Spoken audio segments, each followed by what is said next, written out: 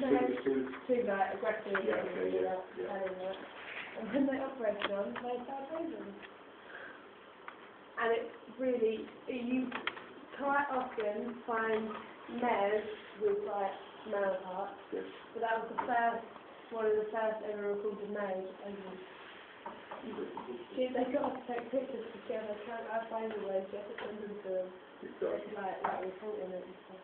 Fantastic. But, uh, I mean, there are anomalies even, even, even within humans and other animals where you get females with a penis or, or uh, a male with a deformed genitalia